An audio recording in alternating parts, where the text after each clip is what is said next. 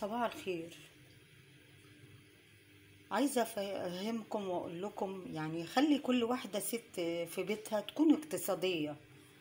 تحافظ على الحاجة اللي بتتبقى ما تترماش لأن بتخترعي لها ممكن ألف اختراع للأكل. تعملي بيها أي وجبة.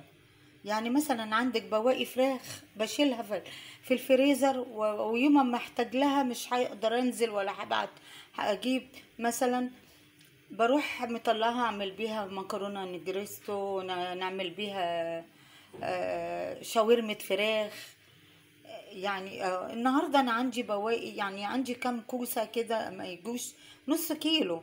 فعملتهم آه، قطعتهم وخرطتهم بقى أعمل بيها وجبة. وجبة أكل جنب الفراخ مثلا وجنب وعندي شوربة أعمل بيها مكرونة بالشوربة. دي بتبقى جميلة قوي جنب الأكل. أنا خرطت الكوسة وحطيت الصلصة وحطيت ال... ودعكتها بالبصل والفلفل والملح وحطيت السمنة ونقطة زيت عشان تحرمش كده. ودي وجبة بدل ما الأكل ما بيترمى مفيش حاجة بتترمى في البيت. خليكوا اقتصاديين وتعلموا الاقتصاد في بيتكم. تقدروا تقدروا تكملوا بقية وقتكم في ال- الحاجة اللي عندك يعني.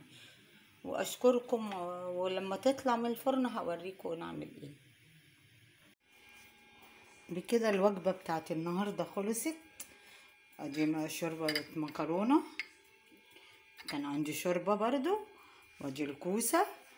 وأدي الرز. والفراخ في الفرن اللي قلت عليه بواقي الفراخ. ربعات ربعات متشالة في الفريزر ففي يوم لازم تطلع.